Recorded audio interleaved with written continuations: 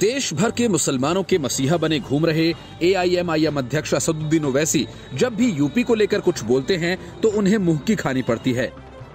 धार्मिक कट्टरता की लंबी चादर ओढ़े ओवैसी को एक बार फिर से करारी पटकनी तब खानी पड़ी जब यूपी के मुख्यमंत्री योगी आदित्यनाथ ने ए एआईएमआईएम पर तगड़ा पलटवार किया। दरअसल, ओवैसी ने एक रैली में यूपी पुलिस को लगभग चेतावनी भरे लहजे में चुनौती देते हुए कहा था कि मैं तो उन पुलिस के लोगों से कह रहा हूँ, याद रखो, हम तुम्हारे जुल्मों को भूलने वाले नहीं हैं। हम याद रखेंगे, ये सब और जब हालात बदलेंगे, तब तुम्हें बचाने कौन आएगा? ओवैसी यही नहीं रुके थे। उन्होंने आगे योगी का भी नाम लेते हुए कहा कि जब योगी अपने मठ में चले जाएँगे, मोदी पहाड़ों में चले जाएँगे, तब कौन आएगा? ये हम नहीं भूलेंगे। याद रखो। ओवैसी के इस नफरत भरे और जहर उगलते बयान पर तो उनकी खटिया यूपी पुलिस ही खड़ी कर देती। लेकिन हमेशा अपने संवैधानिक कर्तव्यों के दायरे में काम करने वाले उत्तर प्रदेश पुलिस ने ओवैसी की लफाजी को ठीक उसी तरह अनदेखा कर दिया, जिस तरह हाथी अपनी मस्ती में मचलते हुए अन्य जानवरों को कर देता है। पर योगी भला कहा मानने वाले थे?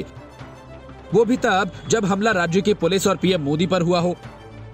ओवैसी के इस बयान पर योगी ने प्रतिक्रिया देते हुए कहा, इंतज़ार करो, वक्त आएगा, तब हैदराबाद भी भाग्य नगर बनेगा। क्या आप उनसे सत्यनारायण की कथा सुनना चाहते हैं? और ओवैसी जैसों से तो आप क्या ही उम्मीद कर सकते हैं? क्या आप उनसे सत्यनारायण की कथा सुनना चाहते हैं? ओवैसी और उनके जैसों का राग रंग भारत के गौरव और भारत की सांस्कृतिक राष्ट्रवाद का प्रतीक हो ही नहीं सकता है। फिर योगी ने अंत में पंच लाइन देते हुए कहा ओवैसी जैसों के जो संस्कार हैं, उसे वो बोलेंगे, और मेरे जो संस्कार हैं, वो मैं बोलूँगा। योगी के इस बयान के बाद ओवैसी की बोलती बंद हो गई है।